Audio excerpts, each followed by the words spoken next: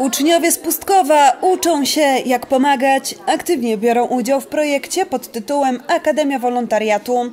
Młodzież z zespołu szkół z oddziałami integracyjnymi lubi czynić dobro.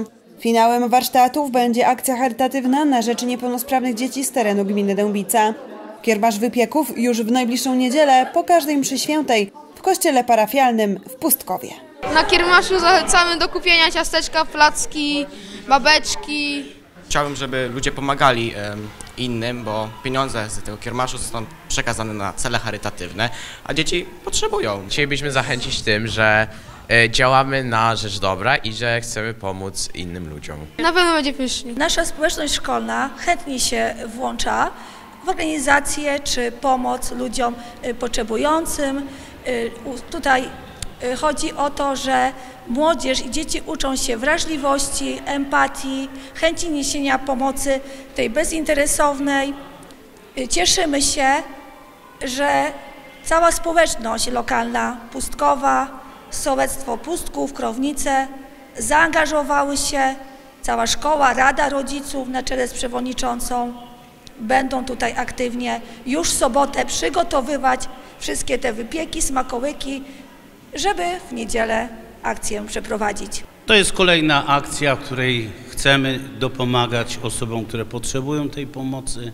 Kolejna akcja charytatywna. W tym włączają się instytucje e, i także parafia i ludzie zaangażowani w tym, które w ten sposób możemy pomagać tym, tym osobom, które tej pomocy teraz, tu i potrzebują. Dlatego zapraszamy na te spotkania, na skosztowanie tych dobroci, a jednocześnie dopomożenie tym osobom, które tej pomocy potrzebują.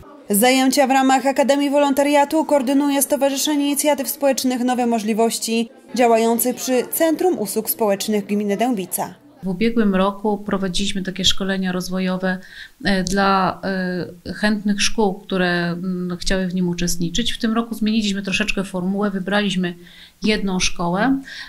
W związku też z tym, że e, powstała taka oddolna inicjatywa pomocy e, jednej e, z mieszkanek tej miejscowości, ponieważ dostaliśmy takie sygnały, że młodzież jest chętna, żeby pomagać, postanowiliśmy ich również wspomóc w tym i zorganizowaliśmy też takie doskonalące szkolenia, które pokazywały, jak organizować sobie czas, jak efektywnie pomagać, jak e, kreatywnie rozwiązywać również problemy.